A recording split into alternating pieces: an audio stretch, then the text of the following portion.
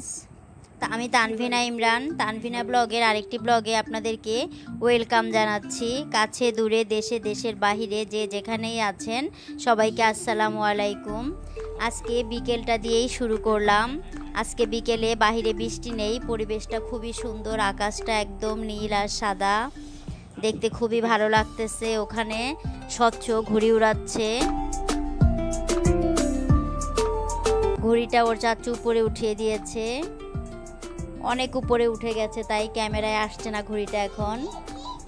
আর নিচে স্বচ্ছর হাতে নাটাই, সে ঘুড়িটাকে কন্ট্রোল করছে নাটাইটা দিয়ে। ঘুড়ি উড়াতে তার খুবই ভালো লাগে, কিন্তু সে একা একা উপরে উঠাতে পারে না, একজন ওকে সাহায্য করতে হয়। বিকেলটা খুবই ভালো লাগছে। পরিবেশটা খুবই সুন্দর। চতুর্দিকে আমাদের গাছপালা। আকাশে দু একটা পাখি উড়াউড়ি করছে। ওই যে পাখিগুলো দেখেন কি সুন্দরভাবে উড়ে যাচ্ছে।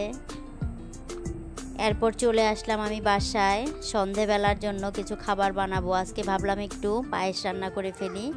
তাই আমি এখানে দুধ বসিয়ে দিলাম। গরুর দুধ বসিয়েছি। দুধটা একটু উতরানি ওঠার পর আমি এখানে চাল দিয়ে দিলাম। আমি চালটা আসলে আদা ভাঙা করে রেখে দেই বক্সে করে। যখনই ইচ্ছে হয় তখনই পায়েস বানায় ফেলতে পারি। চালটা একটু কিছুক্ষণ নাড়াচাড়া করে তার মধ্যে আমি দিয়ে দিব চিনিটা একবারে সিদ্ধ হয়ে যাওয়ার জন্য।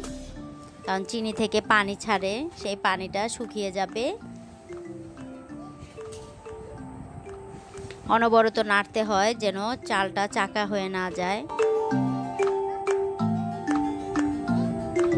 আমি এর মধ্যে দুটা এলাচ আর একটু দারচিনি দিয়েছিলাম।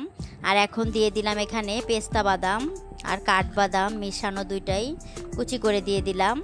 আর দিয়ে দিব আমি হাফ চা চামিচ ঘি। ঘিটা আসলে অপশনাল, কেউ দিতেও পারে, নাও দিতে পারে, কিন্তু আমি সব সময় দেই। আমি শ্যামাই, পায়েস এগুলোতে ঘি দিতে পছন্দ করি। আমার পায়েসটা হয়ে গেছে। অনেকটাই কিন্তু ঘন হয়েছে। যে এখন আমি সন্ধ্যায় খাবার পরিবেশন করলাম, ডিম সিদ্ধ, তার সাথে পায়েস। বিকেলের নাস্তা করছি আমরা, পায়েস, সেদ্ধ ডিম, আর সাথে চা। হঠাৎ করে আমাদের একটা নতুন ফার্নিচার আসলো। আমাদের আগের ড্রেসিং টেবিলটা পূরণ হয়ে গিয়েছিল, তাই একটা নতুন ডিজাইনের নিয়ে আসলাম। এখন চলে আসছে, এর মধ্যে দেখেন আমাদের ড্রেসিং টেবিলটা গুছানো হয়ে গিয়েছে।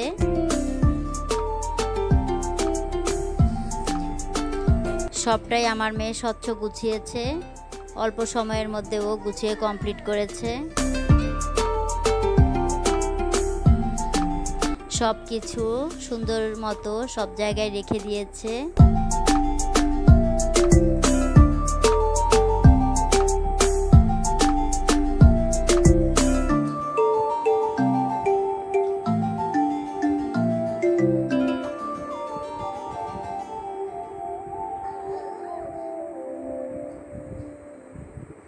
ও কোথায় কি রেখেছে সেগুলোই এখন দেখাচ্ছে।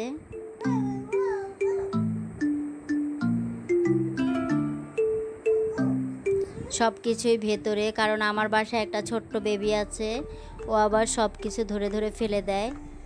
তাই এবারের ড্রেসিং টেবিলে সব কিছুই ভেতরে রাখার সিস্টেম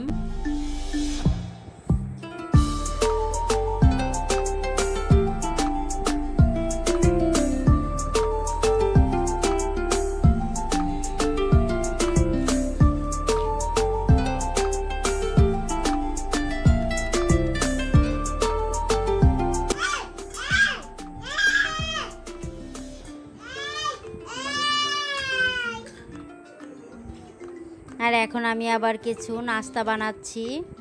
আমি চিকেন সসেস বানাচ্ছি। এগুলো করে আমি ফ্রোজেন করে রাখি, কারণ বিকেলের নাস্তার জন্য লাগে। তাই যখনই সময় পাই কিছু কিছু জিনিস বানিয়ে রাখলে তাহলে আমার জন্য সুবিধা হয়।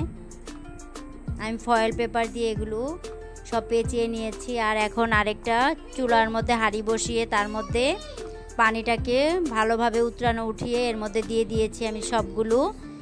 বেশি না, চার পাঁচ মিনিট আমি এটাকে উতরানি উঠাই নামিয়ে ফেলব। আজ এই পর্যন্তই। আল্লাহ হাফেজ। আসসালাম